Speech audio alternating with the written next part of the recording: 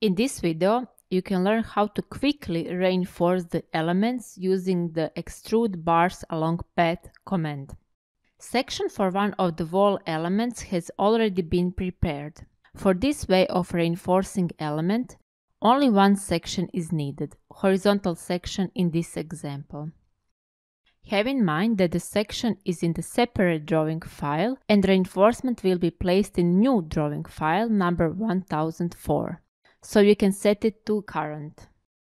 The process is to draw the reinforcement only in the horizontal section without actually placing it in another section. After placing the bars in the horizontal section, with escape key you will exit all the following commands.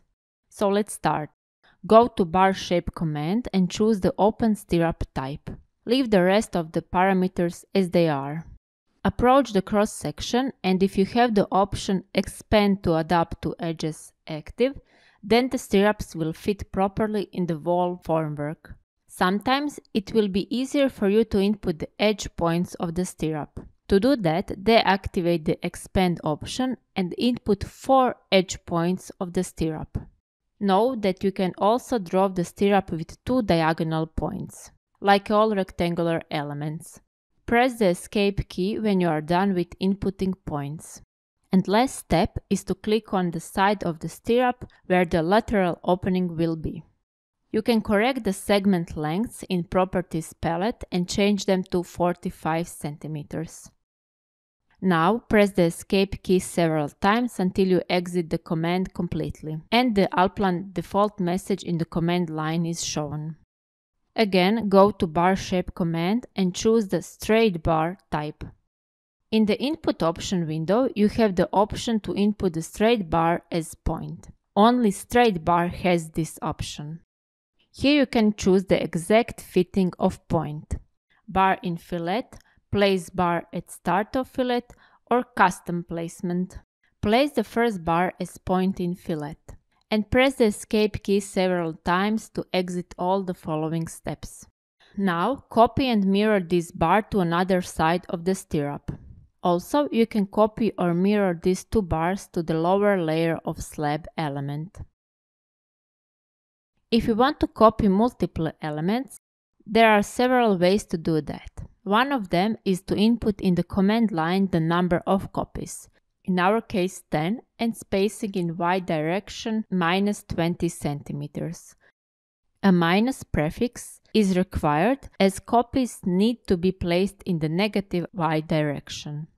Now you can select the open stirrup and a few straight bars and mirror them to another side of the wall. For this, you can use the midpoint. So we can easily mirror the elements at the exact place. Add a few more copies of straight bars shown as points.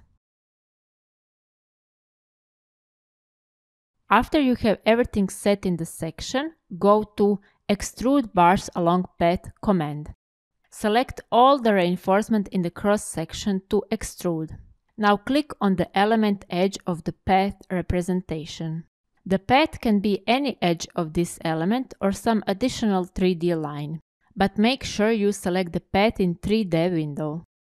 You can set all the additional options for this command in the palette. Profile rotation, concrete cover, reinforcement factors, etc. Here you also have the parameters for transversal reinforcement. For spacing input 25 centimeters.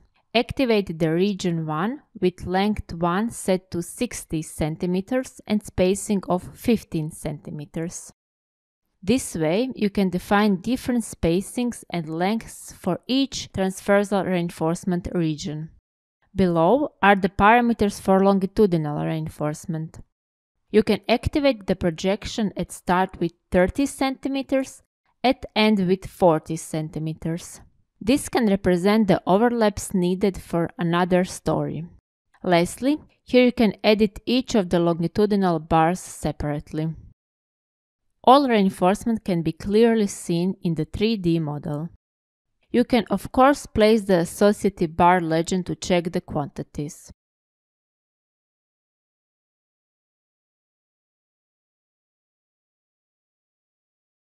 You can create a new cross-section for placing labels and displaying the bars in another view. Remember to switch to the cross-section drawing file.